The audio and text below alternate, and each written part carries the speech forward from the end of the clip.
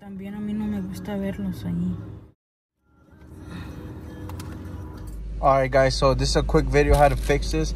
So this car, alright, so this is a G37 2008.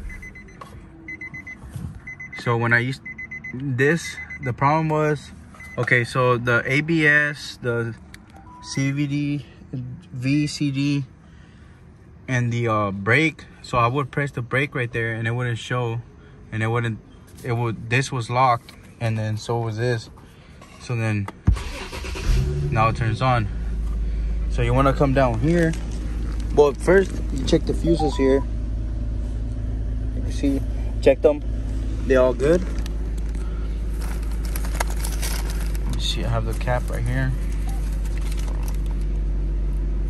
This is a cap. So you want to look for stop lamp, ignition. Those were good. So I went to AutoZone. I'll leave you guys a part number if in, in case you guys need it. So you come here. There's a switch right here.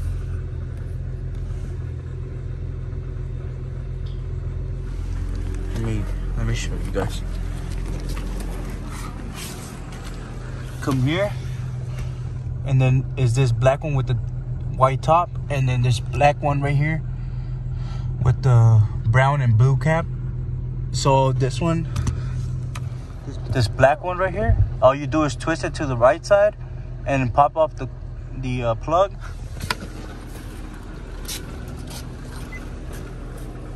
Here's the part number for this one.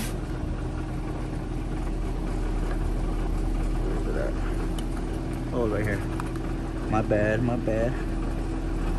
This one right here, it's like 20 bucks. It looks like this. This is the old one. I already put the new one and it starts right off. So this one, you go in, you put it in like this, and then you twist it to the right, and then you put the the the plug on the top, and then it's back to normal. Like if it's new again.